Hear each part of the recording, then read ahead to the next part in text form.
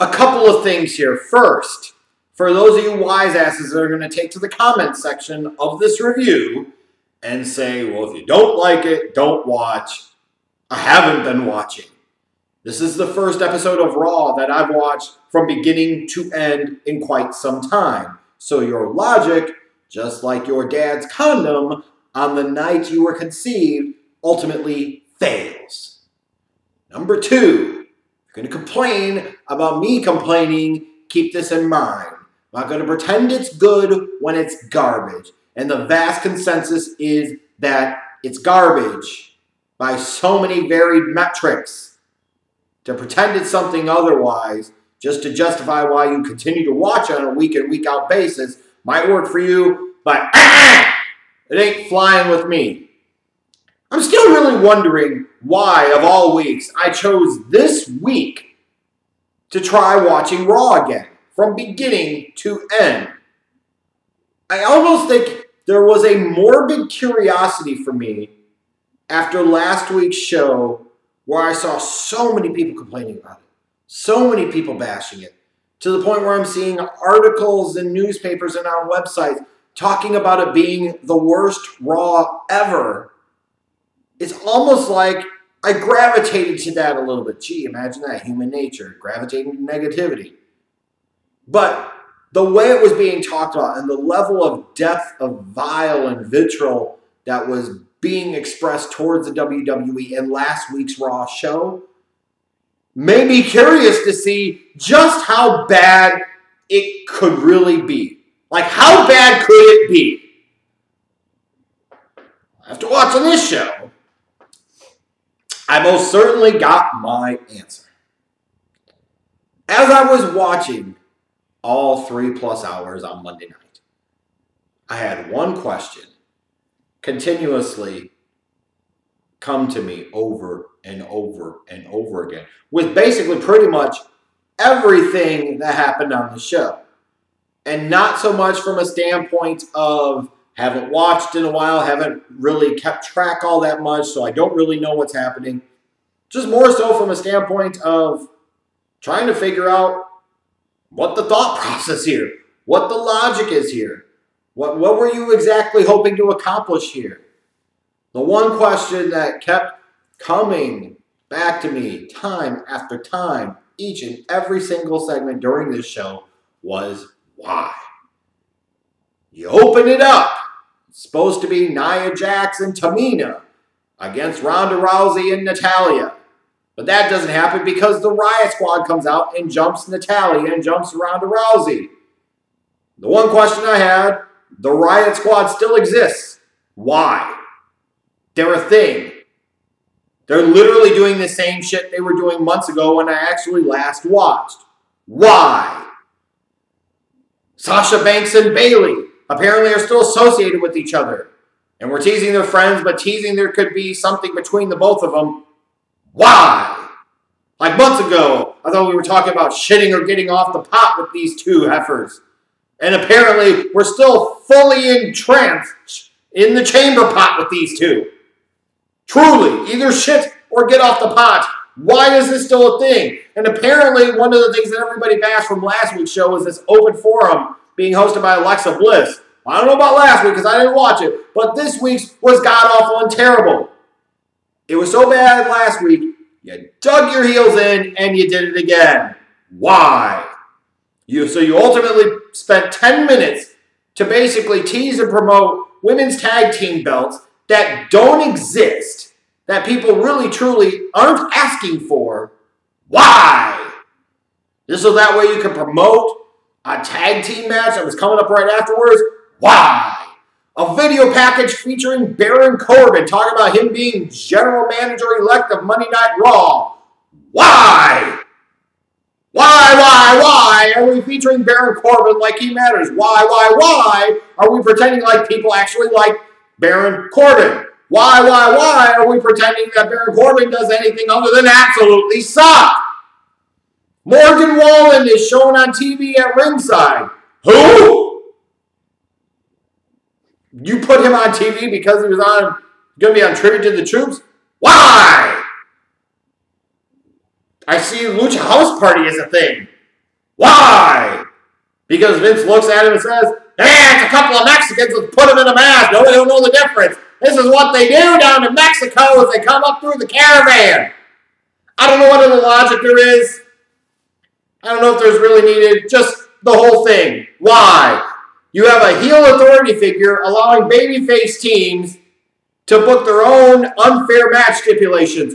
Why? Consistency matters. Why does Vince think consistency does not matter? Why? We had a Drew McIntyre appreciation night. Because apparently he did something that was worth being appreciated. Why? I'm not trying to hate on Drew. I'm just saying, if we got to the point where this guy looks like he's a leading contender to win the 2019 Royal Rumble, why? And more importantly, where the fuck did everything go wrong here? As you're having this whole celebration ceremony, here comes fucking Dolph Ziggler out. Why? And then after apparently months of these two being associated with each other, you're just automatically going to have a blow-off match between the two of them with no real build-up right here, right now, to where Dolph Ziggler fucking wins. So that way you can set up Finn Balor and Drew McIntyre. Why? And oh, by the way, fuck Dolph Ziggler! Apparently I missed something because Lio Rush is on the main roster, but he's Bobby Lashley's manager. He's like Clarence Mason with none of the appeal, none of the charisma, none of the talent on the microphone. Why? Bigger, more important question. Bobby Lashley's feature move is to basically turn around, bend over, and show where the Patterson goes. Why? Why, why, why, why, why is this a thing? And we're using Elias in this?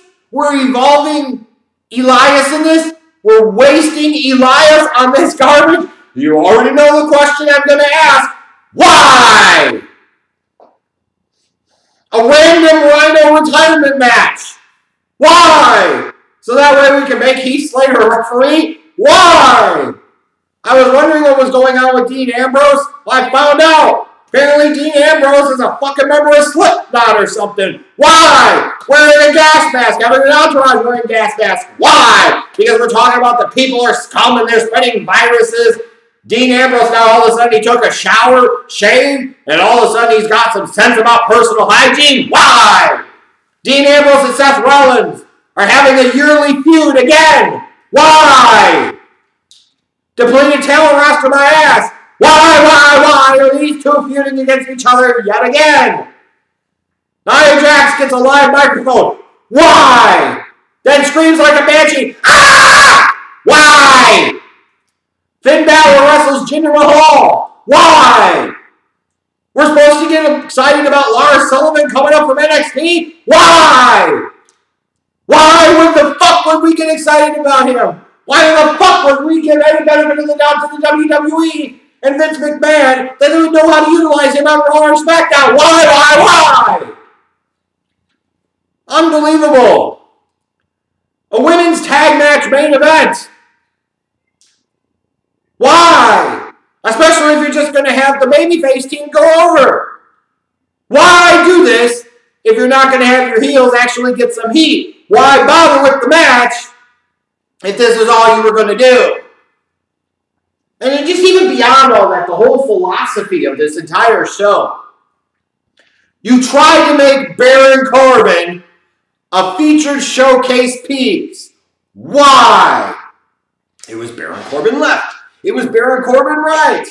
It was Baron Corbin down your throat and up your ass all night. Why? Like, I mean, seriously. Like, even if you like Baron Corbin for some demented reason, look at him and explain to me what is it about him that makes you think, gee, that's a franchise guy, and I want to build my entire fucking show around him. Why? And then when you look at everything, you find out on Tuesday that this was the least watched.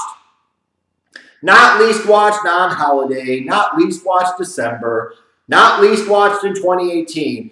The least watched episode of Monday Night Raw in history. Let me rewind that.